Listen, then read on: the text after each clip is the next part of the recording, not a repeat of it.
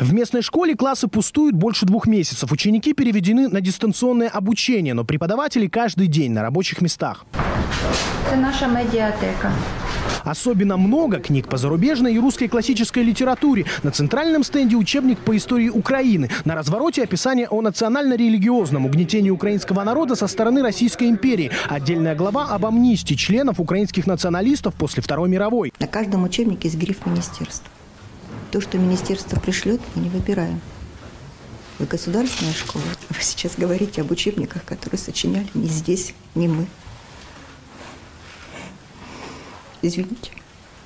Особый акцент на героизации бандеровцев и владцевцев, демонизации России и возвышении роли западных стран в украинской истории. Есть несколько книг, посвященных НАТО, о том, как хорошо вступить в эту организацию с малых лет. И главный герой выступает одним из защитников украинцев. Рядом есть листовка, ну, скорее книжка а, с националистическим лозунгом «Героям слава».